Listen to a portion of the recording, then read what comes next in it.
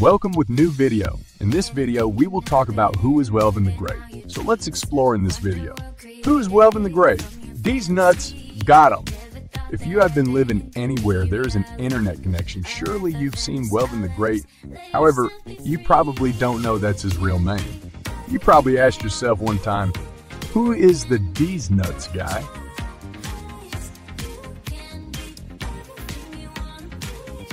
He has a rare condition called Williams syndrome, and it causes a massive overbite, which makes his teeth protrude from his mouth. I've seen his Deez nuts, gotten video one hundreds of times by now, and it never gets old. It's an old school play on the famous Snoop Doggy Dogg line from his early days.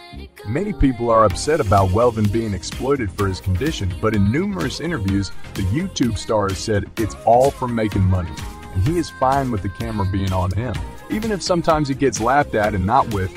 So today, for those of you out there without any knowledge of this famous Deez Nuts video, here it is.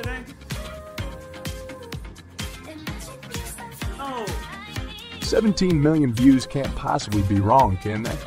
If you find this funny, wait until you see the ugly sweaters by Tipsy Elves, or have a look at these super covert flasks. Lewis also has a love of dogs and is the proud owner of an English setter. When he's not working, he enjoys traveling, especially tasting other cuisines, scuba diving, watching, and playing soccer.